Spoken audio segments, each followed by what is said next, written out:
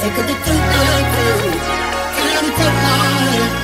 I think you do love